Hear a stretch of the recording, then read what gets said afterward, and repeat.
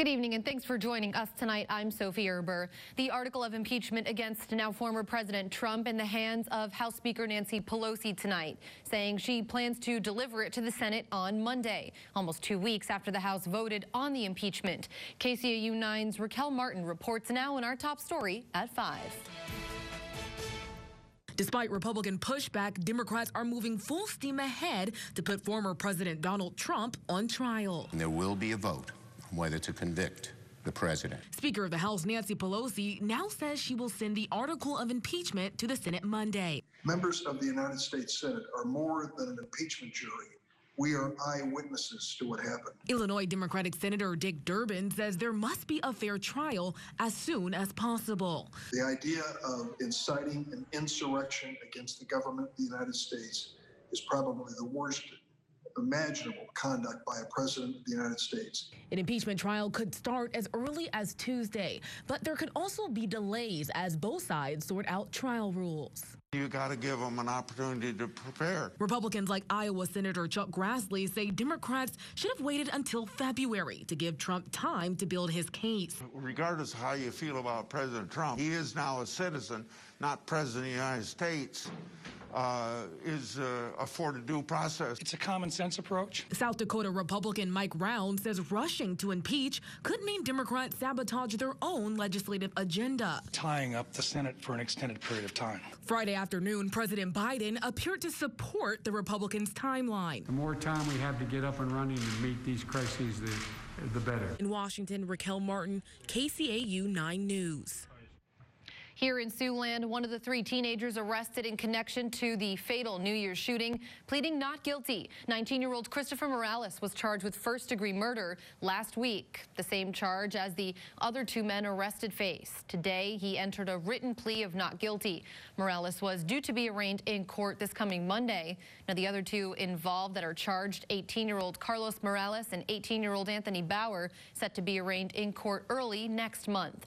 That shooting incident on Walker Street in the early morning hours on New Year's Day left 18-year-old Mia Critis dead and three others injured.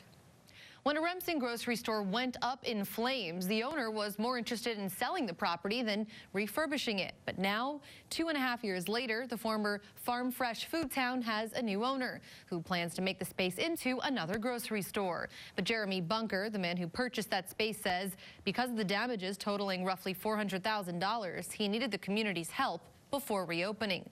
That's when donations and investors started pouring in. We spoke with some of those investors about what it means for the town of Remsen to have a local grocery store once again. It keeps folks in town. It takes care of uh, the needs of seniors that, that can't travel. So it's, it's just one of the core businesses, I would say. The new grocery store is expected to open up this summer, specifically on Memorial Day. That's the goal. Anyone who wants to help out can donate to the Remsen Economic Development Corporation. And back in Sioux City, the Public Museum is now offering a new travel exhibit, Lines with Power and Purpose. The editorial cartoon features 51 pieces from metropolitan newspapers during what they call the golden age of print journalism, addressing issues from the first half of the 20th century, like war, the Great Depression, presidential elections, and the public discontent with the U.S. government people that like cartoons and, and like that type of artwork, I think will, will just enjoy it for, for what it is, because some of them are quite humorous. Uh, you know, others are, are very serious. Uh, you know, they deal with war and major political issues and such, but sometimes they're about lighter hearted topics as well. The exhibit will remain on display now through March 14th. Turning our attention now to the coronavirus. 15 health districts in Nebraska have begun their phase 1B of the vaccine plan. People age 65 and older are the priority, they say. This morning, health officials gave a timeline for the distribution.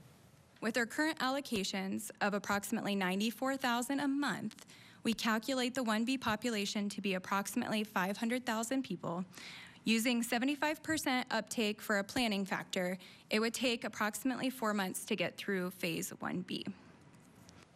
Ling goes on to say people with comorbidities might also be vaccinated, but it is recommended they consult their healthcare provider first. A state vaccine notification board is scheduled to launch next week. Meanwhile, a labor union representing state workers has filed a complaint tonight with OSHA, claiming that a lack of a mask mandate in the State House in Des Moines threatens everyone's safety. The president of the AFL-CIO sent a letter to lawmakers yesterday, calling their lack of masks a, quote, blatant avoidance of the seriousness of the pandemic, end quote. The complaint claims the legislative leaders have a duty to provide a workplace that is free from hazards that could cause death or physical harm. House Speaker Pat Grassley and Senate Majority Leader Jack Whitver have not required masks to be worn, and some GOP members do not wear them. Democrats are largely staying out of the building for caucus meetings and do wear face coverings when they are inside the building for a vote. Let's take a look now at the latest COVID 19 numbers here in Siouxland. Woodbury County Health reporting 18 cases in 24 hours. The positivity rate still on a steady decline, now sitting at 10.5%. In Nebraska, Dakota County with 12 new positive tests today, the county's positivity rate just under 6.5%. And in South Dakota, Lincoln County reports 10 new cases. The county's positivity rate there stands at nearly 11%.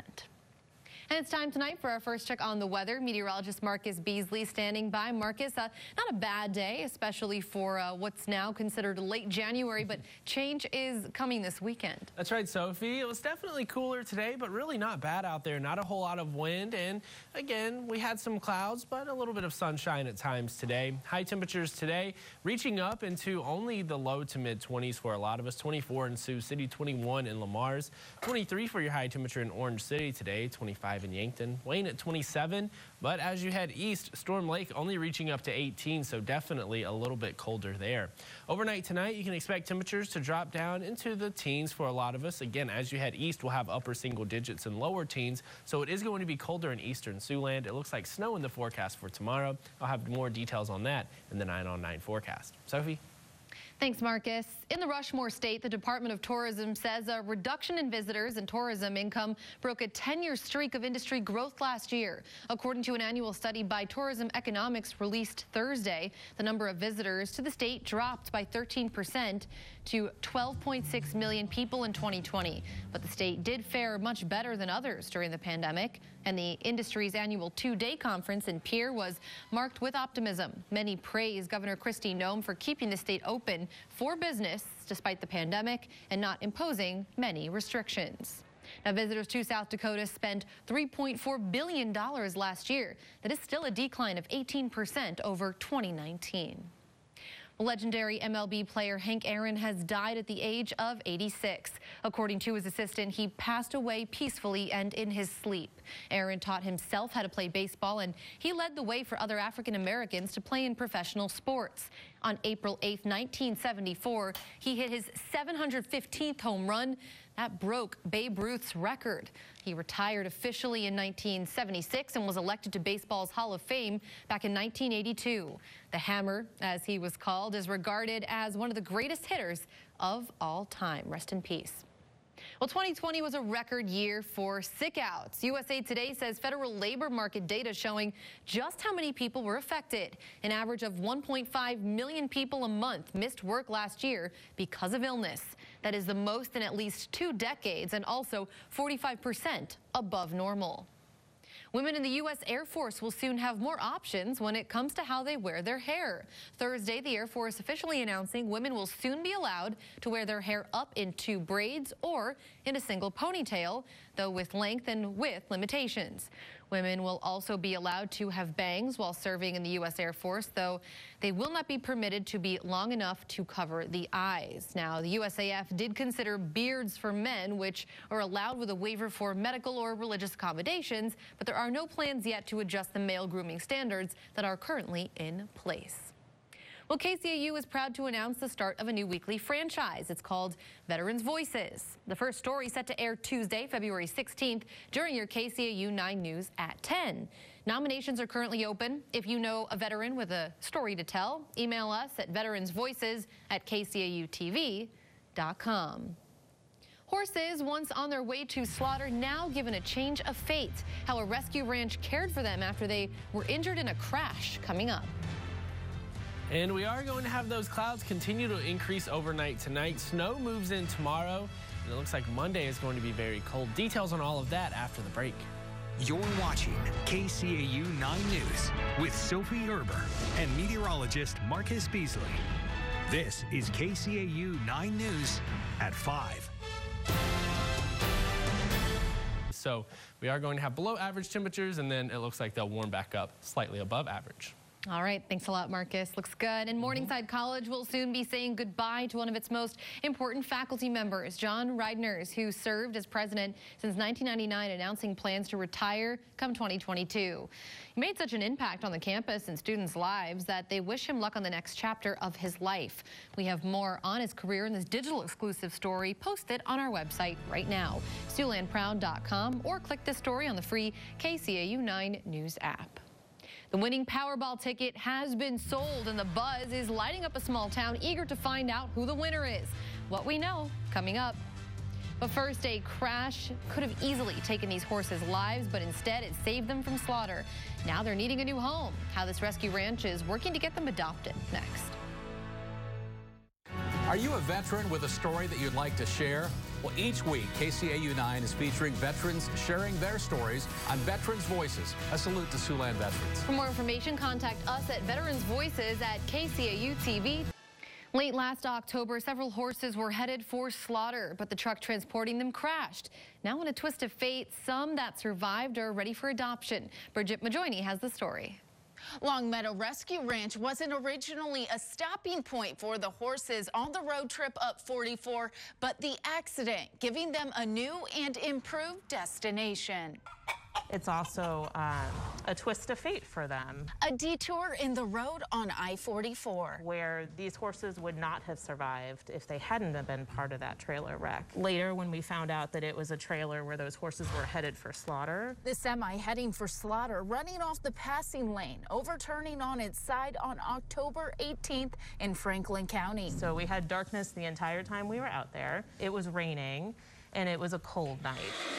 There's a lot of adrenaline that's pumping because you can hear the horses that are still in the trailer struggling and you want to get to help them, um, but you have to slowly move through the trailer um, to get the horses out one by one. Of the 15 surviving horses, 12 were transported to Longmeadow Rescue Ranch, where the worst of the accident took a turn for the better.